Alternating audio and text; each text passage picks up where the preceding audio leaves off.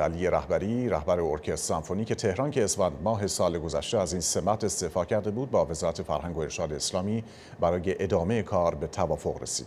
آقای رهبری اسفند ماه سال گذشته در اعتراض به غیر مستقل بودن ارکستر سمفونیک تهران و عدم پرداخت دستمزدها تهران را ترک کرده و به وین رفته بود.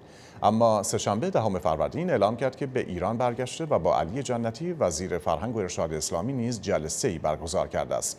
به گفته او برنامه های ارکستر سمفونیک تهران مطابق برنامه سالانه پیگیری خواهد شد اما اجرای اپراها از آن حذف شده است ارکستر سمفونیک تهران پس از یک تعطیلی سه ساله در, سا... در اسفند 1393 مجددا آغاز به کار کرد و رهبری و مدیریت هنری آن به علی رهبری واگذار شد.